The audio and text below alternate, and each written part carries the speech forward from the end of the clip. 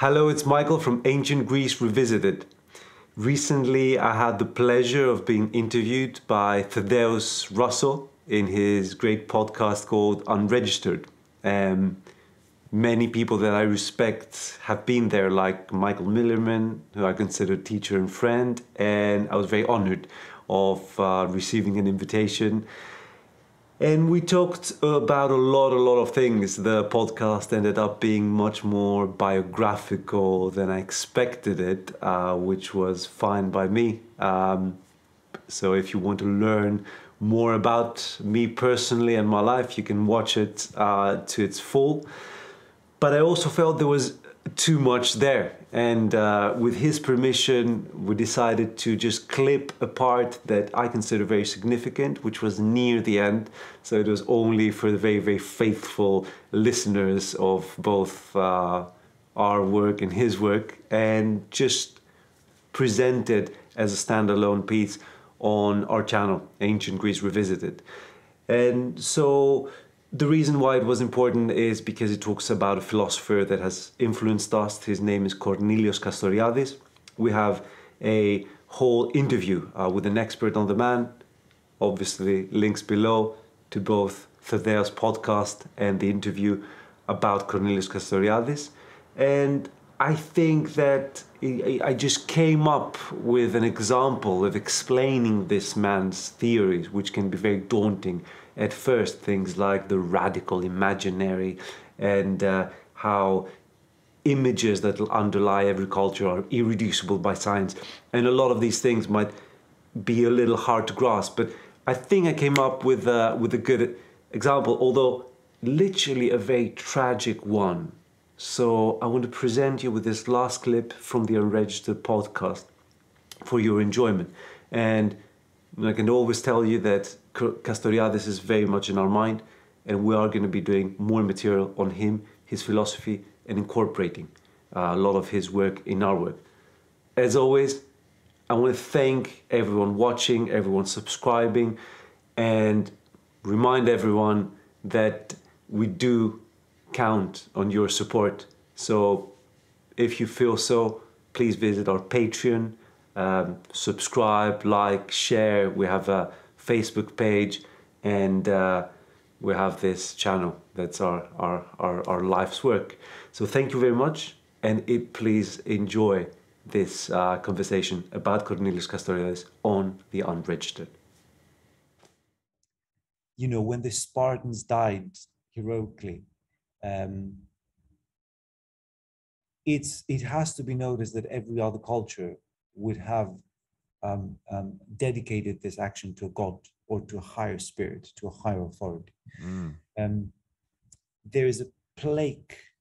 There's a plague that there's a poem essentially that was written after the 300s uh, died, um, and very much like these poems, it was written as if it was spoken by Spartan, okay, as if it was spoken by King Leonidas himself, and mm-hmm. it was uh, a, it became a monument. It was placed uh, near that battle site uh, where the 300 died. And it reads, it's just four lines. It says, uh, it talks to the stranger who's passing by, the, the wanderer who's passing by Thermopylae. It says, O stranger, tell the Spartans that here we lie, obeying our common laws. Mm. Okay. Hmm. So you have this idea of the law, okay, which is not legalistic okay what is it exactly so um well the word itself if you trace it very very back some would even say to its indo-european root it has something to do with dividing dividing up the land hmm. okay mm-hmm. and it is a very big big word now where i draw my inspiration on this uh, besides Strauss, besides Dugin, besides Michael Millerman, I've been very, very influenced by a philosopher called Cornelius Castoriadis. Yes. Uh, yes. Who's relatively un, he's unknown enough to be worth to carry his torch forward. Yes. Okay? And he believed something called the radical imaginary. Yes. Okay. It's a big concept, but essentially what he says is that if you keep doing what you just did, you know, keep peeling out the layers of, of, of culture. You say, the most, you say, Michael, the postmodernists did it wrong for you. So let's go back. The modernists, they did it wrong for you. The, the ancients, they didn't give us. So if you keep peeling the layers of your culture, Castoriadis said that you reach a, a core of images which are not uh, decomposable. Um, at the core of each culture, he used the word images. Again, you have to take it with a grain of salt. Mm-hmm. They're, they're not like um, uh, pictorial representations of something, you know, mm-hmm. mm-hmm. images like dream images or like psychedelic images where a flower can contain a hundred things in one. Um, and he believed that each culture had a different image and all the higher structures, the morality, the why you should not kill, they're essentially like a superstructure on top of that. Okay, so at the basis, basis, basis of society, there's this what I call post rationality. It's not irrational actively that it goes against reason. It's just a set of primal images different for each culture. Okay. Right. And to conclude this train of thought, Castoriadis believed that the Greek imaginary was actually spoken once uh, by a man called Anaximandros. Okay. Yeah. Who he has one remaining fragment uh, and it's his only remaining fragment. And we're told that he's the second philosopher in history. Thales, his teacher, was the first philosopher ever, and he's the second philosopher. He's like Saint Paul, you know, for uh, not Saint Paul because he never met Jesus. Peter for uh, mm-hmm. for, for for Jesus. Mm-hmm. And it's ve- it's a strange one. and It's very uh, heavy and and compact. And and Heidegger wrote books on it, but it goes like this. It talks about beings, beings whatever you know. And he says, anaximander says, uh, before Plato, before Socrates, before Heraclitus, way back when Greece was born, he said, from where they come, there they must return. Hmm. Because beings inflict upon each other just punishment for the injustice they have done against the order of time. Whoa. Whoa. what, how Castoriadis translated it is that at the root of the Greek imaginary, the radical imaginary, you don't have morality, you don't have thou shalt not kill. You have a very strange notion, unique to Greece, so that goes against this perennialism, this old religion said the same, all cultures get the same, which I don't believe. The Greek said being is somehow unjust is an act of, of, of robbery against non-existence. Existence is a fault somehow. It's a mistake. Non-existence is the default. It's it's it's the standard. Existence has to rob its being from non-existence. Okay, somehow. What that means, and that's where I'm trying to go with my understanding of ancient Greece, and it goes against both the traditional classicist white kind of fairy tale version of Greece and the Michael Millerman Strauss Dugin version. What Castoriadis essentially, the best way that I can translate it is this. It's going to sound very controversial and very bad, but here it goes. You know Michael Schumacher, the great Formula One driver. Oh, yeah. Perhaps mm-hmm. greatest mm-hmm. has ever lived. And you know his fate, correct? Mm-hmm. Uh, had this great career, uh, retired at the top of his career. Uh, a couple of years later, he goes on ski vacation, slips on a stone, breaks his head, remains paralyzed for the rest of his life uh, in a kind of vegetative state. Okay. If you can see that and say there is justice there, then you will approach the ancient Greeks. It's not morality it's not justice in the court sense. If someone were to do this to him, he should have gone to jail for sure, mm-hmm. um, for life. Mm-hmm. But you see, for the ancient Greeks, and that's the perspective that I'm trying to give against the Straussians, against the Duginites, it's unique. And Castoriadis has taught me, you know, for the Greeks, someone like Schumacher, you see, he stole too much speed from the order of time.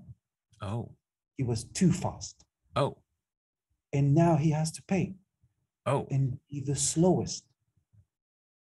He has to drag himself to the bathroom. Is this good? No. Is this bad? Neither. What is it? It's tragic.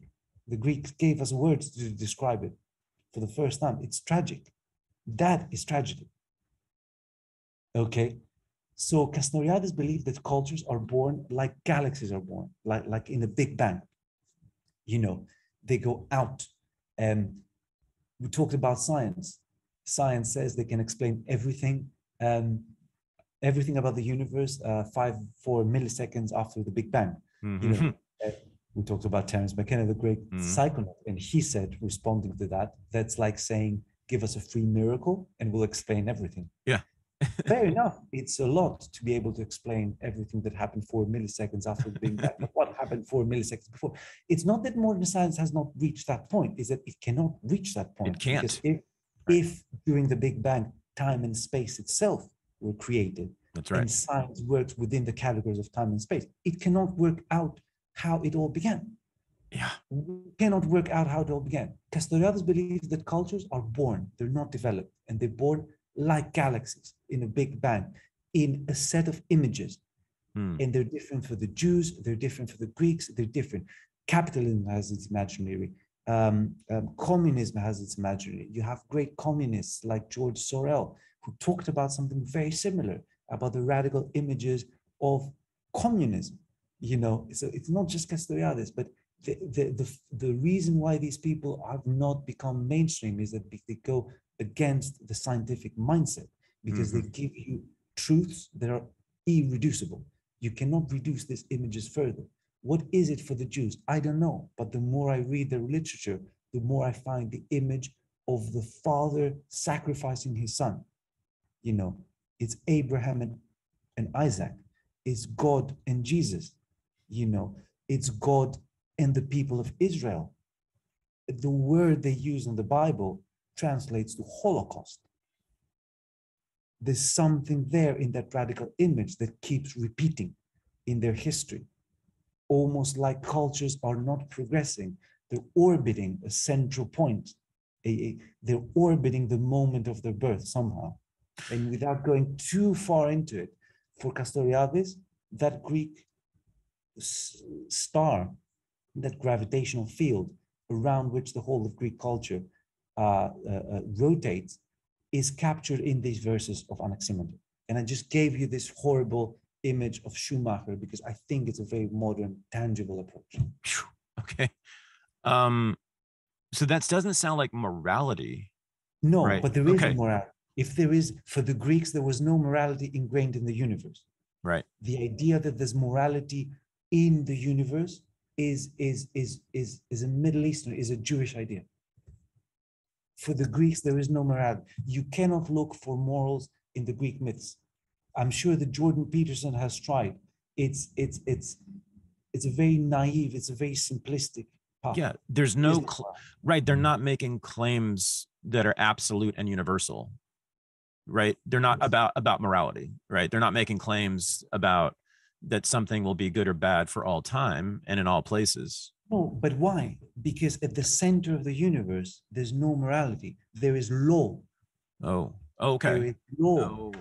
which means division. As things divide there is a law. As things divide as beings come into existence they have to punish eat up each other go to war. That's why nations will always go to war according to the Greeks cities. It was said again and again, Aristotle, Plato, cities by their nature, they said.